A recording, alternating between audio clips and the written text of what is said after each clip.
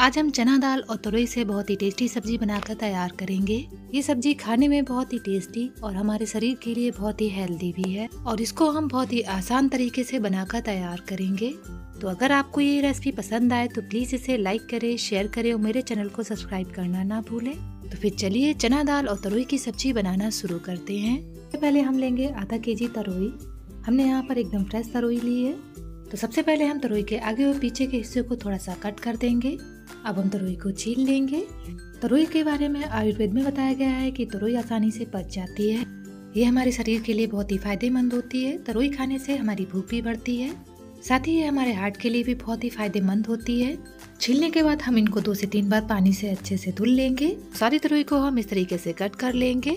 अब हमने यहाँ पर लिए आधा कटोरी चना दाल, जिसको हमने एक घंटे पहले पानी में भिगो दिया था और इसको दो से तीन बार पानी से अच्छे से धुल लिया है। अब हम इस चना दाल को एक पैन में शिफ्ट करेंगे। साथ ही हम इसमें ऐड करेंगे एक गिलास पानी, आधा छोटी चम्मच से थोड़ा कम नमक, एक चौथाई छोटी चम्मच हल्दी पाउडर। अब हम सभी चीज़ों को एक बार चला लेंगे। अब हम पैन का ढक्कन कवर कर देंगे और उनको 10 से 15 मिनट के लिए लो मीडियम फ्लेम पर पकने देंगे। चना दाल को अलग से पका लेने से हमारी सब्ज़ी जल्दी बनकर तैयार हो जाएगी।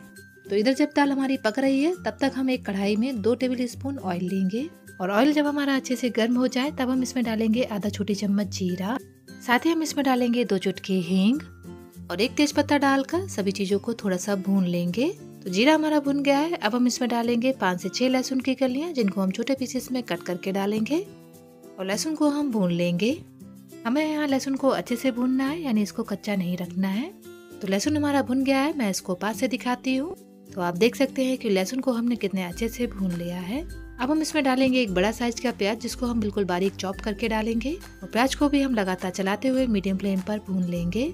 जब प्याज हमारा भून जाए, तब हम इसमें ऐड करेंगे डेढ़ छोटी चम्मच धनिया पाउडर। धनिया पाउडर इसमें थोड़ा सा ज़्यादा ही पड़ेगा। आधा छोटी चम्मच हल्दी पाउडर। साथ ही हम इसमें डालेंगे आधा छोटी चम्मच लाल मिर्च पाउडर। अगर आपकी लाल मिर्च ज़्यादा तीखी हो तो थोड़ा सा कम ही डालिएगा। अब हम इसमें थोड़ा सा पानी डालकर मसालों को अच्छे से भून लेंगे। तो मसालों को हम लगातार चलाते हुए अच्छे से भून लेंगे। हम इनको तब तक भूनेंगे जब तक कि ये अच्छे से ऑयल ना छोड़ दे। तो मसालों ने ऑयल छोड़ना शुरू कर दिया है। अब इस स्टेज पर हम इसमें ऐड करेंगे एक छोटी चम्मच कश्मीरी लाल मिर्च। इसको डालने से सब्ज़ी का कलर बहुत ही अच्छा आता है और ये ज़्यादा तीखी भी नहीं होती है। तो इसको भी डालकर हम मसालों को अच्छे से चला लेंगे। तो आप देख सकते हैं कि मसालों ने अच्छे से ऑयल छोड़ दिया है। अब हम इसमें डालेंगे एक बड़ा साइज़ का टमाटर। तो टमाटरों को भी हम छोटे छोटे पीसेस में कट करके डालेंगे। तो टमाटर हमारे जल्दी से सॉफ्ट हो जाए इसलिए हम इसमें ऐड करेंगे नमक। नमक डालेंगे हम स्वाद अनुसार। साथ ही हम यहाँ पर ऐड करेंगे दो सूखी खड़ी लाल मिर्च।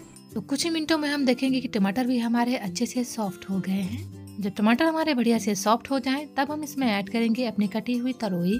और तरोई को मसालों में मिक्स करते हुए अच्छे से चला लेंगे। आप इस सब्ज़ी को एक बार ज़रूर ट्राई करें ये खाने में बहुत ही टेस्टी लगती है। आप इस सब्ज़ी को जीरा राइस और रोटी के साथ सर्व करें इसका टेस्ट बहुत ही बढ़िया आता है। अब हम इसको पैन के ढक्कन से कवर कर देंगे और इसको सात से आठ मिनट तक पकने देंगे। बीच में हम इसको एक से दो बार चला देंगे ताकि तली में सब्ज़ी हमारी जले ना। तो लगभग सात से आठ मिनट हो गए हैं। अब हम सब्ज़ी को चेक करेंगे। तो तरोई हमारी लगभग सेवेंटी टू एट्टी परसेंट तक पक चुकी है। तो इधर हमारी चना दाल भी अच्छे से बॉईल हो गई है। तो चना दाल को हमें इतना पकाना है, जब हम इसे इस तरीके से फोड़े तो ये अच्छे से मैश हो जाए। यानी हमें इसे फोड़ने में ज़्यादा ताकत ना लगानी पड़े। तो ये दाल लगभग 90 परसेंट तक पक चुकी है। तो अपनी 90 परसेंट पकी हुई दाल को अब हम तरोई में ऐड कर देंगे। साथ ही हम इसमें डालेंगे तीन बारीक कटी हुई हरी मिर्च और चना दाल और तरोई को हम एक बार अच्छे से मिक्स करते हुए चला लेंगे और फिर से हम इनको एक बार कवर कर देंगे और सात से आठ मिनट तक पकने देंगे। और गैस की फ्लेम को हम लो मीडियम रखेंगे तो बीच में हम इसको एक बार चला लेंगे और फिर से हम इसको ढक देंगे और पकने देंगे। तो लगभग सात से आठ मिनट हो गए हैं, अब हम अपनी सब्ज़ी को चेक करेंगे। तो हमारी सब्ज़ी एकदम पककर तैयार है। और लास्ट में हम इसमें ऐड करेंगे एक चौथाई छोटी चम्मच आमचूर पाउडर साथ ही हम इसमें ऐड करेंगे एक चौथाई छोटी चम्मच गरम मसाला। तो सब्ज़ी हमारी रेडी है। अब हम इसमें बारीक कटी हुई हरी धनिया डालकर इसको गर्मा गर्म सर्व करेंगे। आप इसको गर्मा गर्म रोटी जीरा राइस के साथ सर्व करेंगे। खाने में बहुत ही टेस्टी लगती है। तो अगर आपको मेरी रेसिपी पसंद आए तो प्लीज़ इसे लाइक करें शेयर करें और मेरे चैनल को सब्सक्राइब करना ना भूलें। तो फिर मिलते हैं एक नई रेसिपी के साथ। बाय